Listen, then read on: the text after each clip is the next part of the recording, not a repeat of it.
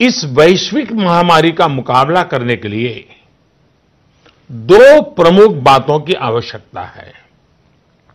पहला, संकल्प और दूसरा, संयम।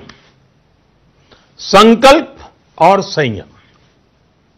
आज 130 करोड़ देशवासियों को अपना संकल्प और दृढ़ करना होगा कि हम इस वैश्विक महामारी को रोकने के लिए एक नागरिक के नाते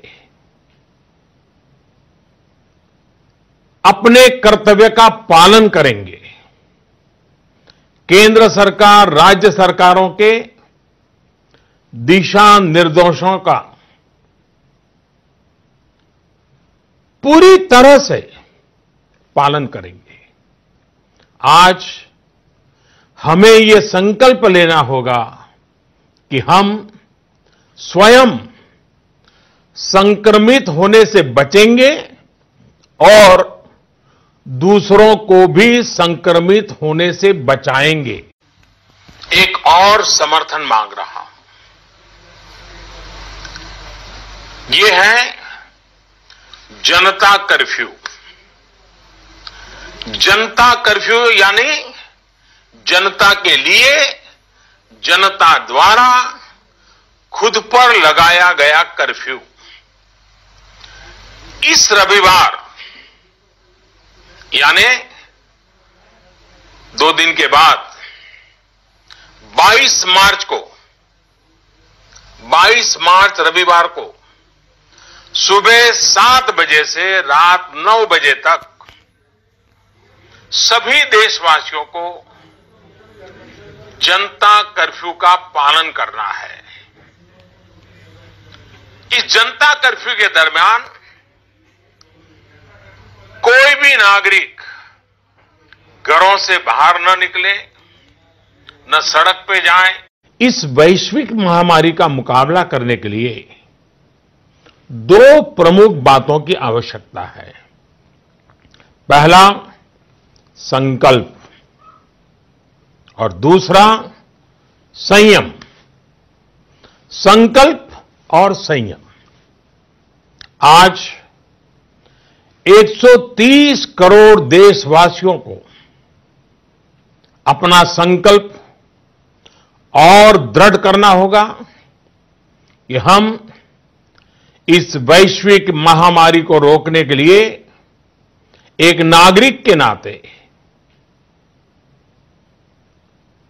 अपने कर्तव्य का पालन करेंगे। केंद्र सरकार, राज्य सरकारों के दिशा निर्देशों का पूरी तरह से पालन करेंगे। आज हमें ये संकल्प लेना होगा कि हम स्वयं संक्रमित होने से बचेंगे और दूसरों को भी संक्रमित होने से बचाएँगे। ये है जनता कर्फ्यू। जनता कर्फ्यू यानी जनता के लिए जनता द्वारा खुद पर लगाया गया कर्फ्यू। इस रविवार, यानी दो दिन के बाद 22 मार्च को 22 मार्च रविवार को, सुबह सात बजे से रात नौ बजे तक सभी देशवासियों को जनता कर्फ्यू का पालन करना है। इस जनता कर्फ्यू के दरमियान कोई भी नागरिक घरों से बाहर न निकले न सड़क पे जाए, न मोहल्ले में या सोसाइटी में इकट्ठे हो, अपने घरों में ही रहें।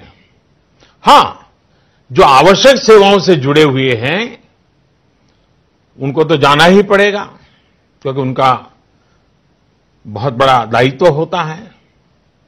लेकिन एक नागरिक के नाते,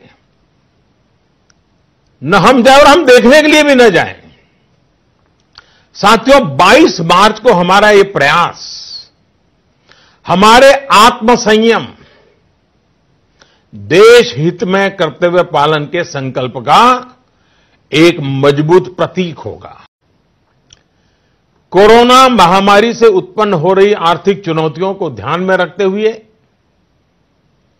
सरकार ने भारत सरकार के वित्त मंत्री के नेतृत्व में, फाइनेंस मिनिस्टर के नेतृत्व में सरकार ने एक COVID 19 economic response task force इसके गठन का फैसला लिया है। ये टास्क फोर्स सारे स्टेक होल्डर से नियमित संपर्क में रहते हुए, फीडबैक लेते हुए, हर परिस्थिति का आकलन करते हुए निकट भविष्य में फैसले लेगी। ये टास्क फोर्स ये भी सुनिश्चित करेगी कि आर्थिक मुश्किलों को कम करने के लिए जितने भी कदम उठाए जाएँ, उन पर प्रभावी रूप से अमल हो। जितना संभव हो सके आप अपना काम, चाहे बिज़नेस से जुड़ा हो, ऑफ़िस से जुड़ा हो हो सके तो अपने घर से ही करें। जो सरकारी सेवाओं में हैं, अस्पताल से जुड़े हैं, जनप्रतिनिधि हैं, जो मीडिया कर्मी हैं, इनकी सक्रियता तो आवश्यक है। मैं चाहता हूँ कि 22 मार्च रविवार के दिन हम ऐसे सभी लोगों को धन्यवाद अर्पित करें। और धन्यवाद कर अर्पित करने का तरीका भी देश के एक एक व्यक्ति को जोड़ सकता है। रविवार को, यानी जनता कर्फ्यू के दिन, शाम को ठीक पाँच बजे, हम अपने घर के दरवाजे पर खड़े होकर, या बालकनी में, या खिड़कियों के सामने खड़े होकर, पाँच मिनट तक रविवार को शाम को पाँच बजे, पाँच मिनट तक ऐसे लोगों का आभार व्यक्त करें। और आभार कैसे व्यक्त करेंगे? ताली बजा करके, थाली बजा करके, घंटी बजा करके। हम उनके प्रति अपनी कृतज्ञता व्यक्त करें। देशवासियों को इस बात के लिए भी आश्वस्त करता हूँ कि देश में दूध खाने पीने का सामान, दवाइयाँ, जीवन के लिए ज़रूरी ऐसी आवश्यक चीज़ों की कमी ना हो, इसके लिए तमाम कदम उठाए जा रहे हैं। ये सप्लाई कभी रोका नहीं जाएगा। इसलिए मेरा सभी देशवासियों से यह आग्रह है कि ज़रूरी सामान संग्रह करने की होड़ न लगाएँ। आप पहले जैसे करते हैं, वैसे ही सामान्य रूप से ही खरीदारी करें। पैनिक बाइंग, ये कतई ठीक नहीं है। उसको न करें।